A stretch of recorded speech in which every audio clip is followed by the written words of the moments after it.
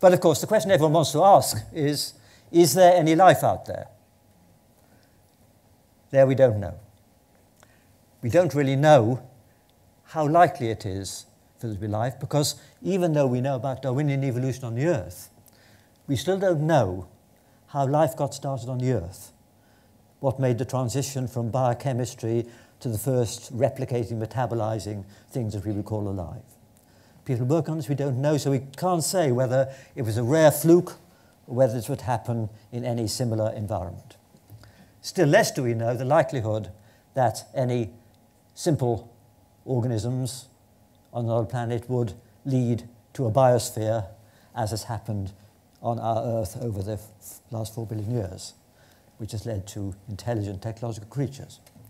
We'd like to know this, and of course, uh, um, we'd like to find evidence for any advanced life. And uh, this is one of the most fascinating subjects, and uh, you may have read that there's a, a Russian uh, billionaire who has just uh, given $100 million for a 10 year project to try and search for evidence for technological civilizations by looking for some, some, something that's manifestly artificial. And I've agreed to chair the advisory committee for this. And of course, no one's holding their breath for success.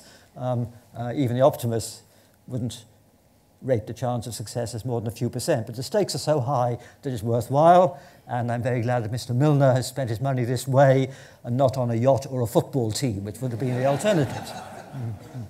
um, so we hope that there may be some evidence for intelligent life, but even if that's uh, a high risk pro project, we'll certainly learn more about simple life and whether that exists.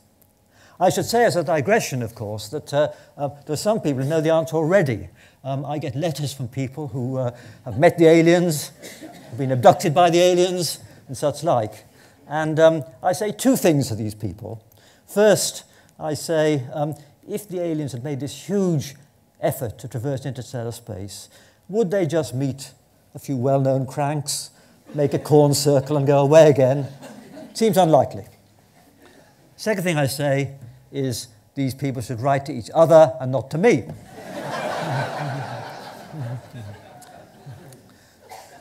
but the important point is that uh, uh, this subject of uh, bioastronomy is now a serious subject, but it's much more difficult than the rest of astronomy because biology is a much harder subject than physics. So I'm going to go back to the physical world.